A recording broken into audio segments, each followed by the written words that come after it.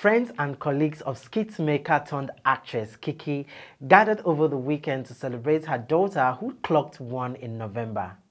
The mother of one threw a unicorn team birthday party to celebrate her daughter Shanola. Kiekie also recreated the famous Disneyland for her daughter's birthday which she tagged Nola Wonderland. The event was decorated with blue, pink and purple ribbons and balloons. Mother and daughter rocked matching outfits at the birthday celebration. The duo were dressed in a yellow gown decorated with flowers and later a blue top and pants. Celebrities like Simi, Real Warri Pikin, Brother Shaggy, Steve Chuks, Elo Zalam, Nonso Mirage and Kate Henshaw attended the birthday party.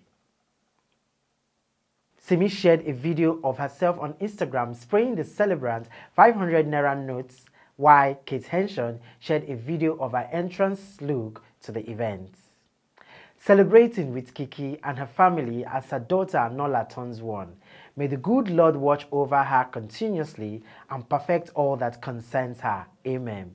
Kate captioned the video. On Nola's birthday on November 24, Kiekie dressed up as a unicorn to surprise the little girl. The excited mother shared a video of herself via Instagram wearing a unicorn costume as she walked into her daughter's room to wish her a happy birthday. The video also captures mother and daughter having fun together with Spyro's only fine girl playing in the background. My baby woke up to a unicorn mom, forever my magic and sunshine. Happy birthday to my first, Shanola Ilori. Kiekie captioned the video.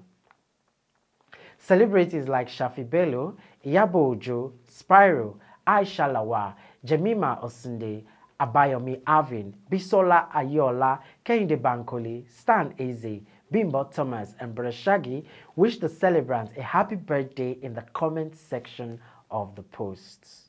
Kiekie and her husband, Tunji Ilori, announced the birth of their daughter in an Instagram post on November 29. Weeks after the birth of the child, the 33-year-old and her husband hosted family members, friends, and industry colleagues to a naming ceremony on Wednesday, January 4, 2023. Kiekie and her husband were dressed in pink traditional attire. The mother complemented her look with a matching headgear and pieces of jewelry.